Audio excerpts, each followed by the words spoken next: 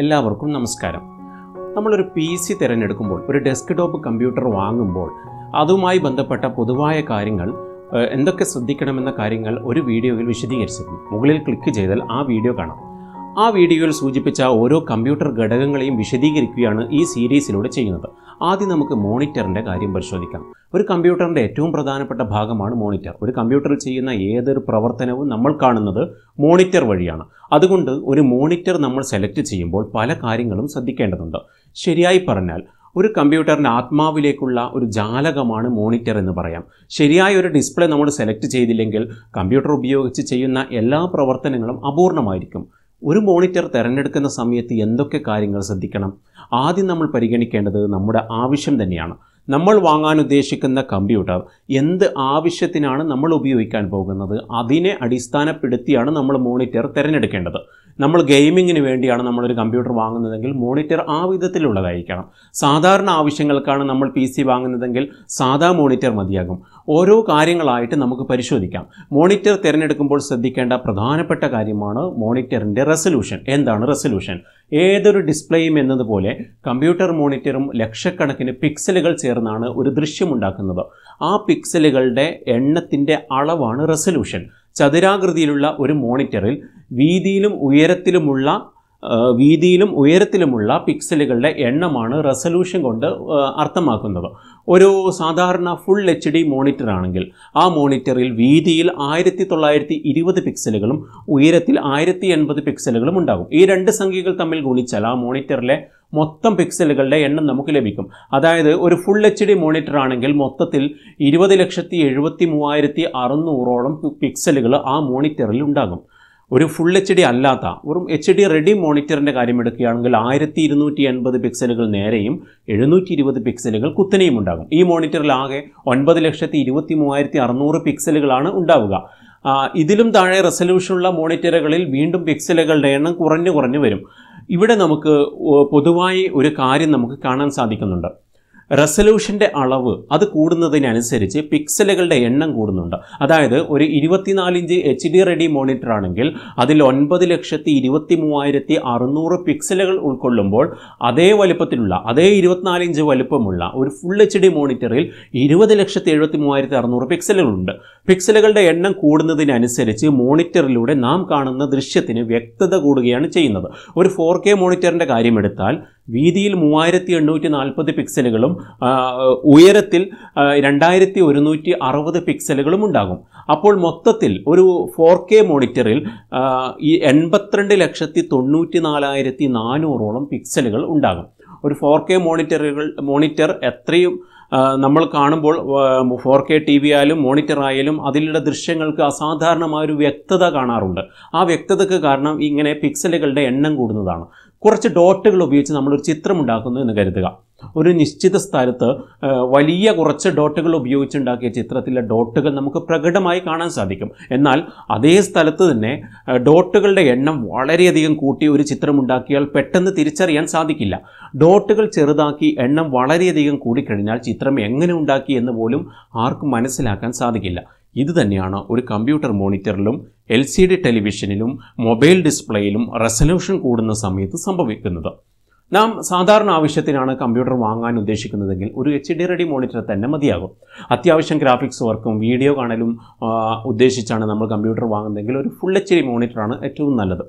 Video editing graphics gaming ഇതൊക്കെ പ്രൊഫഷണലായിട്ട് ചെയ്യാൻ ഉദ്ദേശിച്ചാണ് നമ്മൾ കമ്പ്യൂട്ടർ വാങ്ങുന്നതെങ്കിൽ തീർച്ചയായിട്ടും ഒരു ഫോർ കെ മോണിറ്റർ സെലക്ട് ചെയ്ത് വാങ്ങുന്നതാണ് ഏറ്റവും നല്ലത്.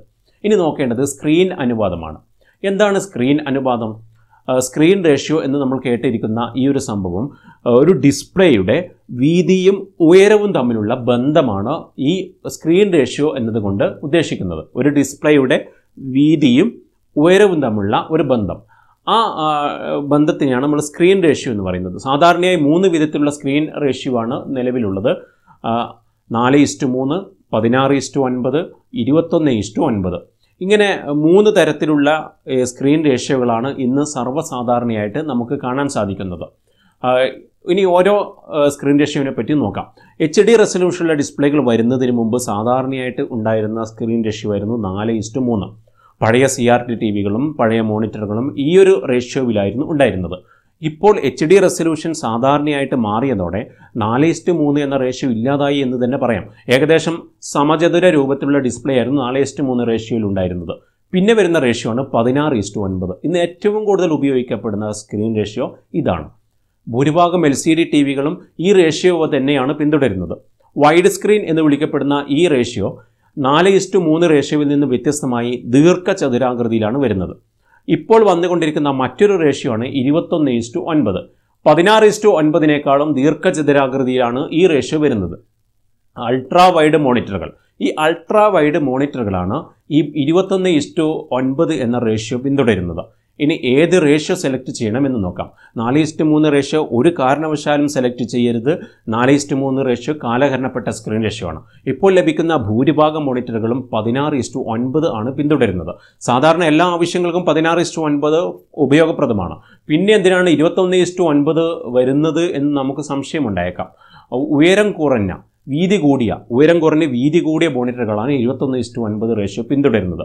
ഗ്രാഫിക്സ് ഡിസൈനർമാർക്ക് വീഡിയോ എഡിറ്റ് ചെയ്യുന്നവർക്ക് സിനിമ കാണുന്നവർക്ക് കമ്പ്യൂട്ടർ ഗെയിം കളിക്കുന്നവർക്ക് അവർക്കൊക്കെയും ഏറ്റവും ഉപയോഗപ്രദമായ സ്ക്രീൻ റേഷ്യോ ഇരുപത്തൊന്ന് ഇസ്റ്റു ഒൻപതാണ് സിനിമകളെല്ലാം ഈ ഒരു റേഷ്യോയിലാണ് വരുന്നത്.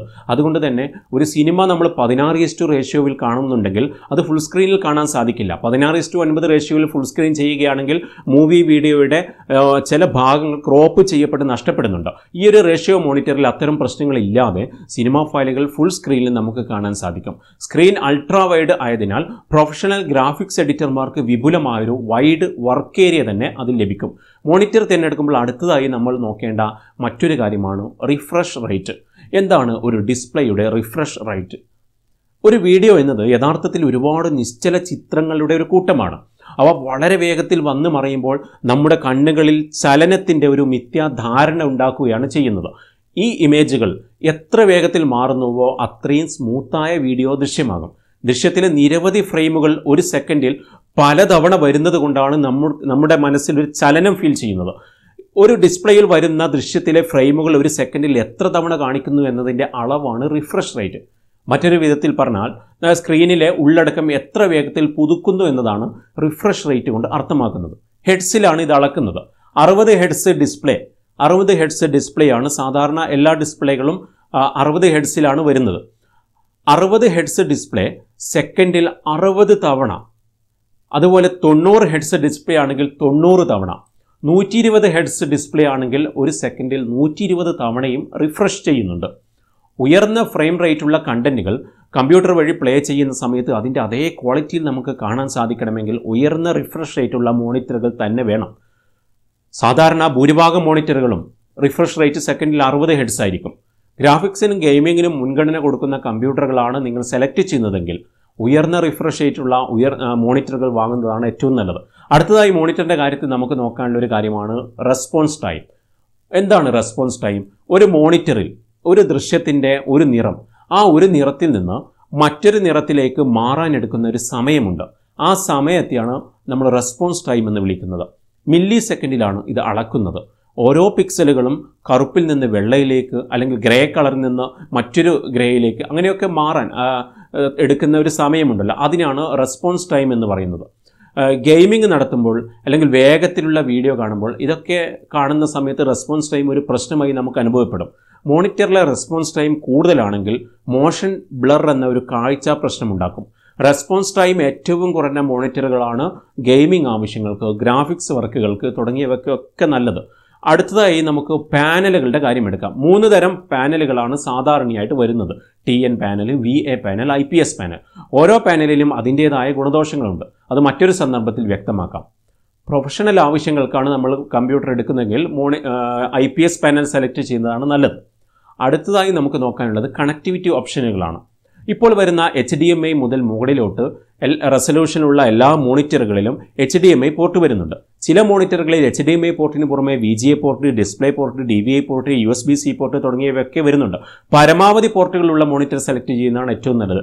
ഡിസ്പ്ലേയുമായി ബന്ധപ്പെട്ട ഇവിടെ പറഞ്ഞ മുഴുവൻ കാര്യങ്ങളും കൂടുതൽ വിശദീകരണം ആവശ്യമുള്ളവയാണ്. അത് ഓരോ ഭാഗങ്ങളായി പിന്നീട് വിശദീകരിക്കാം.